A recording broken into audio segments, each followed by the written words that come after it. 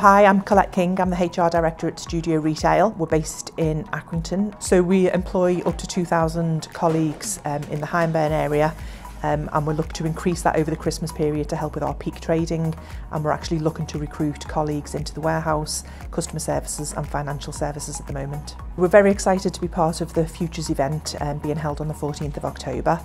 Um, as one of the largest employers, we're really keen to work with um, local schools and education providers um, just so we can talk to all of the students about the opportunities that we've got available across Studio.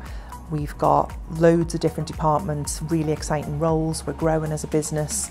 Um, so we're really keen just to talk to um, the students, as I say, just so they can understand what opportunities there are for them once they finish school. There's so many opportunities available for young people of Hindburn um, every kind of job that you can possibly think of. We've got a huge IT department, we're looking at cyber security, we're looking at data protection, um, we're looking at data analytics, we're looking at customer information, we've got the warehouse roles, um, picking and packing parcels, um, and then everything from finance, human resources, um, right through to marketing, uh, photography, videography, you name it, there's opportunities here at Studio.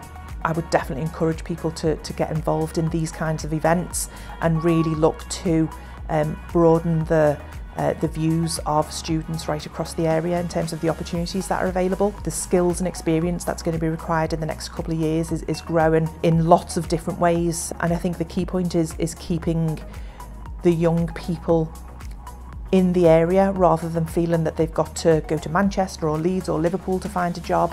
Actually, there's so many great opportunities on the doorstep and that's the thing that we've got to encourage is to keep people local because there's some amazing opportunities for, for the students and the young people.